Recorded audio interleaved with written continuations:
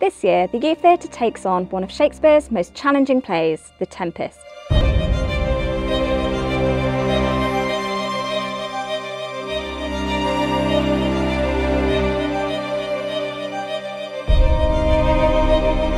Dealing with magic, betrayal, love and forgiveness.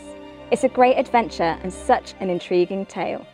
Rehearsals have been underway for months the whole cast have shown great commitment, the acting is breathtakingly good, the stage design, lighting and effects are just stunning. They are ready and audiences are in for a real treat.